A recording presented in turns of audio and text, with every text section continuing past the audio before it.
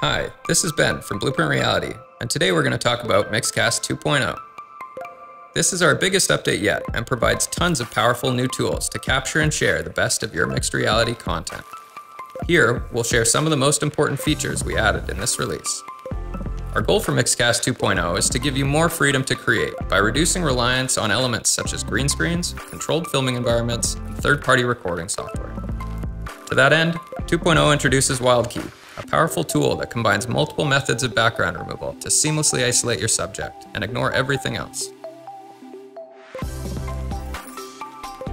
We've also added support for the Intel RealSense D435 and D415 cameras, which, thanks to their depth sensing abilities, allow Mixcast to determine which areas of the scene to remove without needing a green screen.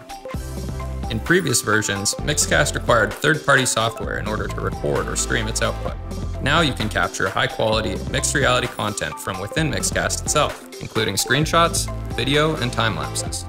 You can also broadcast live from Mixcast to most major streaming platforms.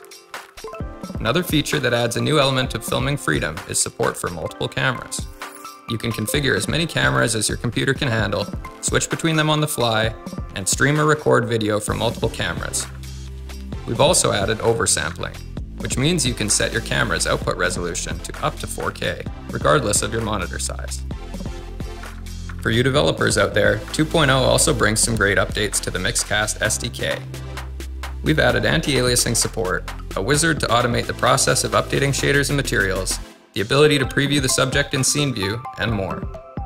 Last but not least, Mixcast 2.0 introduces support for the Unreal Engine and is compatible with VR projects using Unreal 4.17 and higher. Mixcast 2.0 is available now, and you can find the in-depth release notes on our website, mixcast.me. We think you'll enjoy all the new features this release brings and hope it gives you even more freedom to create and share mixed reality.